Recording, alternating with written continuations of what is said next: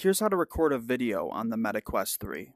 So to get started, you're going to want to find the camera app. It should be right here on your menu bar. It'll be like this reddish pink color.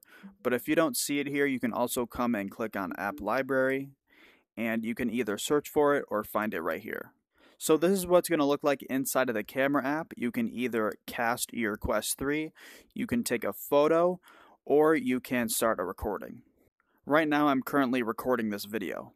So if you want to start a recording, you'd want to click on this button here. And then you're going to see a little pop-up like this that'll ask you if you want to include your microphone audio. So if you want to do that, you can toggle this on and then click on start recording to start your recording. You'll know that you're recording because you'll see a red dot in the top right corner of your Quest 3.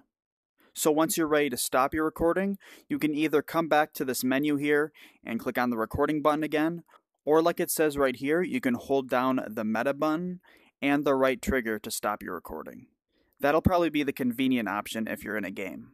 So once you finish recording, the video is going to show up in your recents like this, and you can click on the three dots and choose whether you want to share it, sync it to your mobile app, or delete the video. So that's pretty much it. If this video ended up helping you, a like and subscribe would be greatly appreciated.